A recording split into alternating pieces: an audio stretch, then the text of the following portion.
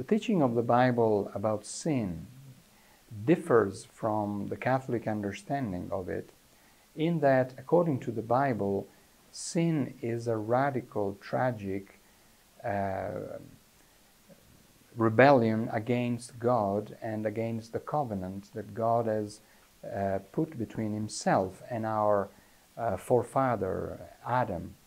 And the consequences of our sins are tragic and uh, radical in the sense that we are dead in our sins.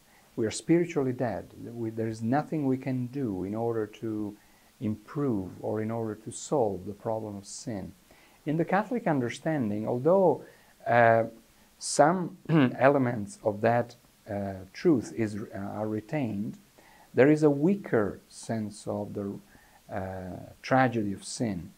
Uh, sin is seen more as a weakness, as a defection that uh, still uh, allows us to retain some abilities, some capabilities to cooperate, to work out our salvation.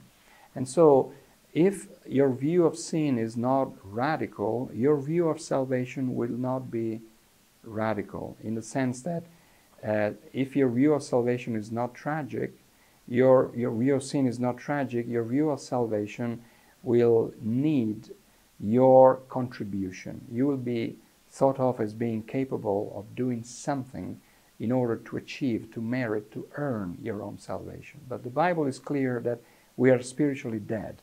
And unless God gives us His life through the miracle of regeneration, we are hopeless. So it is important to have the right view of sin in order to have then the right view of salvation.